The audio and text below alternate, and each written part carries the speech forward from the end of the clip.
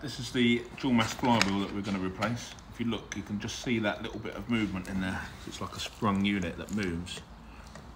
And then we've got the new clutch as well, which is a three-piece kit. So you've got this is the clutch cover, and then the clutch center plate, and then the uh, concentric slave cylinder as well.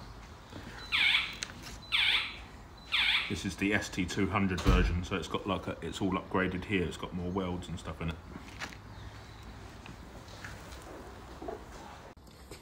Okay, this is the RTS upgraded clutch kit for the ST180 ST200 Fiesta Mark 7.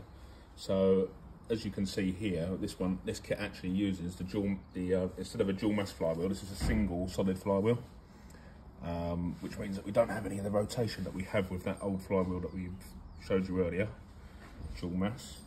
Um, so something less to wear out and give you a nicer pedal feel and clutch take up.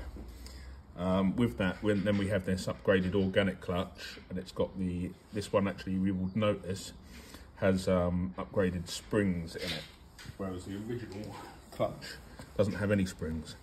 This is to do with having a, when you're running a solid flywheel, you need to have the springs. Um, with a new slave cylinder and all new bolts. And uh, they're fantastic, fantastic bit of kit.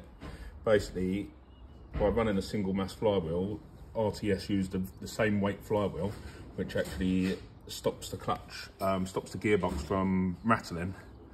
Um, so we've, we've found that they're, they're fantastic. There's other, there are other solid flywheels out there that actually are less weight and they can cause problems to your gearbox, but these are fantastic.